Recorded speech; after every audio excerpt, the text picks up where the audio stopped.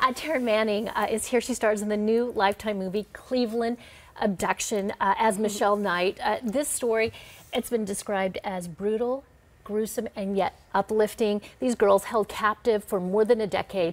Here's Taryn with Raymond Cruz, who plays her captor, Ariel Castro. Willie, why don't you just turn yourself in? Huh? Maybe if you turned yourself in, they won't go so so hard and they'll go easier. Right. And then my whole family know what I've been doing. Who cares about what your family thinks? It's only about God. Where was God when he let you get into my car? Like this, this is, you know, talking ripped out of the headlines. This is a story that you will all remember in Cleveland three of you held captive all those years. The person you're playing, you know, by the way. Yeah, well, I've gotten to know her, yes. And, and did you get to meet her because you were doing the role? And was she around when you were doing this? Yeah, Michelle Michelle Knight is who I'm portraying. Um, she goes as Lily now. So okay. officially, she's Lily. Um, I got to meet her. She's like a staple in Cleveland. You can find her doing karaoke or just, you know, she's out and about and she's just very happy, positive, uplifting person. What was it that made you feel like you wanted to, to tell this story? Because as I was watching it, it was you were living. You can't even imagine the horrors, yeah. and yet you, the, at the end you're just crying for the happiness of it all. Yeah, I mean, it was one of those things. Like I, you know, I heard about it, and um, my manager, you know, my team, they sort of they went after it for me, and, and um, it, it came to me, and I was so excited called my mom like I, I, I always do, and um, it was like silence on the other end of the phone. And I was like, hello, huh? And my mother wasn't, like, she didn't want me to play it, this role. And she's always very enthusiastic. Because it's so dark? I, yeah, I, I, believe, you know, she just, the thought of it, you know, just, it's truly just hor horrific. And, and, and, you're the character you play, the person you play, yes. Michelle Knight. Uh, she was abducted when she was older than the other two girls. If I correct me if I remember this yeah, wrong. you're right. And unwanted though, well, made to feel. Family felt she ran away. Yeah. So they didn't even go after her. Yeah, yeah. Her she was never looked for, and um, in my understanding, her mother even moved away. Yeah. Um, like one only one year later to Florida, and he constantly reminded her of that. That was one of his main manipulations, you know. That nobody wants you, only I want you. Yeah. In, in whatever and, the situation and, and not is. even that. He was mad at himself, like I didn't get what I wanted all over again.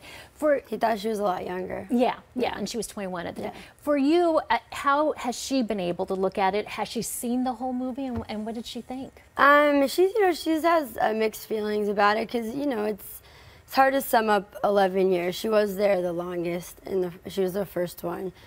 11 years of you know trying to tell her story in, into this film. I mean, um, she would come to set, but certain scenes like she didn't want to be there for. She didn't want to be there. How does it make as an actor?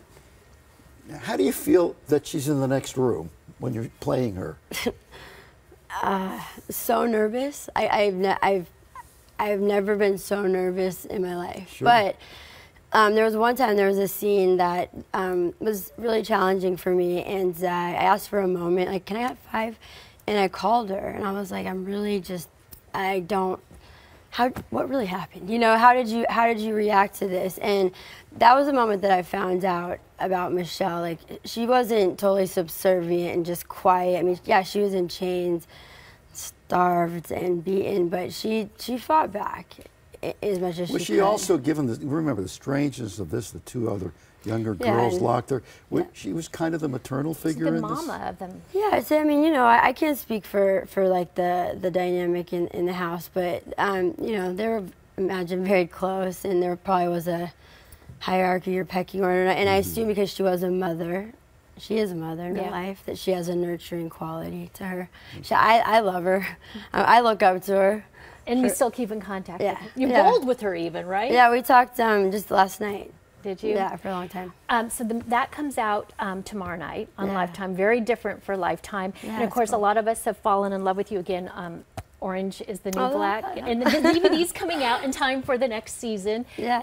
Explain to Steve all the characters, the name of the character you play. Well, I know like you. All the characters. You're Pennsatucky, right? Yes. Oh yeah, no, I got you done. Uh, you're an interesting character because You're both you're both kind of like a pre- you're a preacher, kind of in a way, Yes, she thinks uh, sort of a tweaker. uh, she was. you, you you give me more words, okay? Um, she's like, um, you know, she's in there. She's in there for, for murder, and she's got, you know, just ironically when she, you know when she did what she did, there happened to be like a big protest going on outside of the abortion clinic. So she's being, you know, she's being like rallied for, sort of put through prison with like a lot of support. So she kind of digs digs into just the whole, you know, just Jesus and, but it's all skewed and it, it's not. Nothing is what it is. yeah, right? it's like doesn't make sense but really. why do people always talk about your teeth? Apparently, after you do crystal meth for a certain amount of time and you don't care for your for your teeth, they Mm-hmm. turn black and yellow. And That was got a- new ones. That was a serious grill you had going Oh, on yeah, at some yeah, point. It really was. It was awful. yeah, when I got beat up, Uh, which I deserved. Hawaii Five O. Yeah, That's a change. yeah, yeah.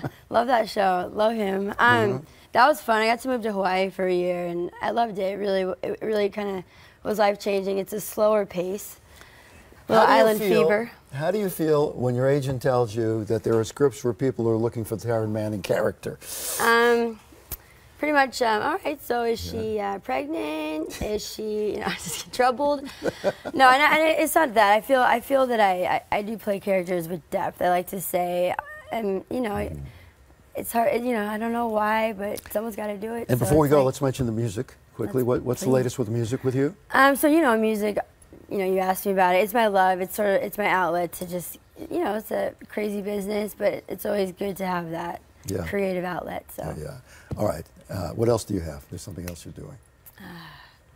You got a book? You a Clothing clothing line. line. I used to. Used to. Yeah. did have a clothing line. I did. I did. Yeah, seven Okay. years.